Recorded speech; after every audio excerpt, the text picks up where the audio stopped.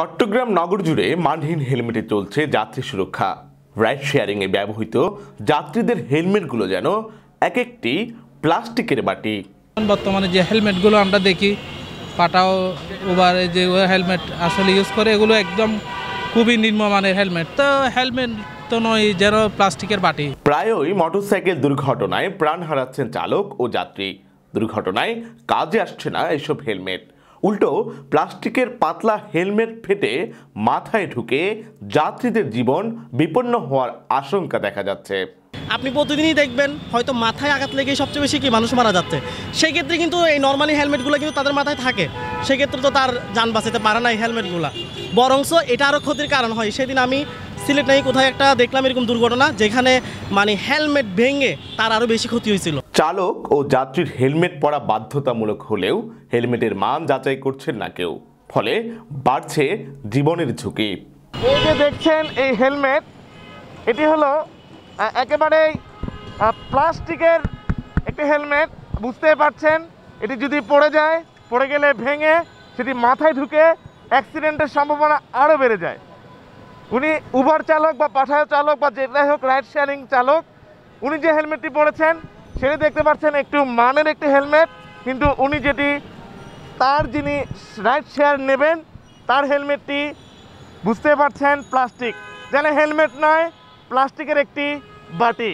বাংলাদেশ সড়ক পরিবহন কর্তৃপক্ষ বিআরটি এর তথ্য বলছে, দেশে নিবন্ধিত মোটরসাইকেলের সংখ্যা একত্রিশ লাখের বেশি, যা মোট যানবাহনের আটষট্টি শতাংশ। শুধু চট্টগ্রামেই নিবন্ধিত মোটরসাইকেল প্রায় পাঁচ থেকে ছয় লাখ। এর বাইরে একটি বড় অংশের মোটরসাইকেল অনিবন্ধিত।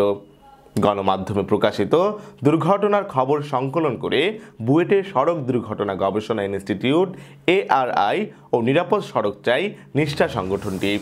নিষ্ঠার হিসাবে দু হাজার বিশ সালে দেশে সড়ক দুর্ঘটনা ঘটেছে তিন হাজার দুইশত বত্রিশটি। যার এক হাজার একশত সাতাশটি মোটরসাইকেল দুর্ঘটনা।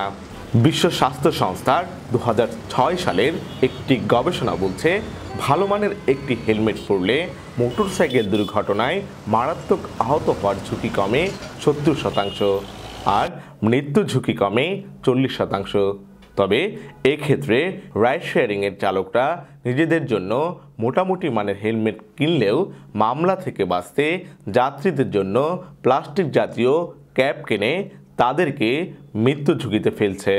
এখন যে হেলমেটগুলো সচরাচর ইউজ করে সেগুলো হচ্ছে পুলিশের চোখ ফাঁকি দেওয়া। কোনো সেফটি তো দূরে থাক কোনো ধরনের ভালো কাজ আসবে না বরঞ্চ এটা ক্ষতি হবে। যদি একটা অ্যাক্সিডেন্ট হয় এটা ভেঙে মাথায় ঢুকবে। অ্যাক্সিডেন্টে মাথায় আগে যাবে। তাই মাথাকে সেভ করতে হবে। মাথা সেভ করতে না পারলে আপনি অবশ্যই মৃত্যুর মুখে পতিত হবে যারা এই ধরনের হেলমেট তৈরি করে আমি বলতে চাই তারা যেন মানুষের লাইফের কথা বিবেচনা করে এগুলা তৈরি করে। প্রতিদিন বাড়ছে মোটরসাইকেল ব্যবহারকারীদের সংখ্যা।